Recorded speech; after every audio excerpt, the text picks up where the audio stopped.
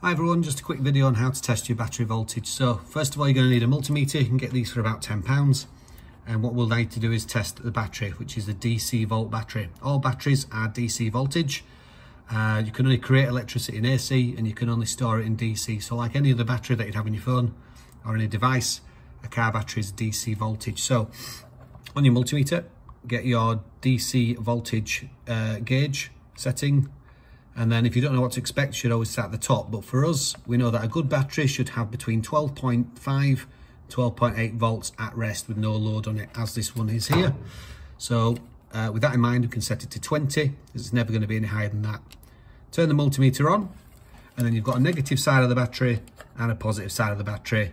Most batteries will have it stamped on the casing, which is which. Normally it's ID'd because the red is uh, the positive and the black is a negative, but it's not always the case.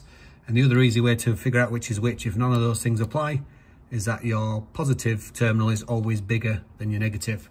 So you've got two leads here. COM is the black one, which is your earth, just as it is on your battery. So black for common earth, which gets plugged in there.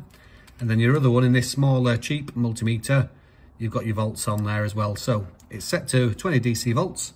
We'll put the, positive, the negative uh, lead in there and the positive in there, and we should get a battery voltage reading. So we've got a battery voltage reading of 12.59, which is perfectly healthy. Again, anything up to about 12.8 will be a, a, brand new perfect battery. Anything under about 12.2, you're going to start getting uh, starting problems. 11.8 is classed as dead.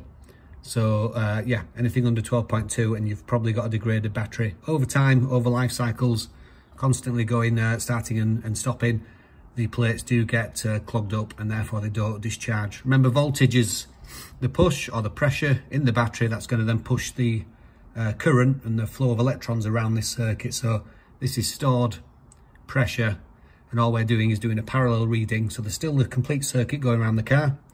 Uh, all we're doing is taking a reading off the battery and, uh, and that's it, 12.9 volts. Hope that makes sense. Thanks.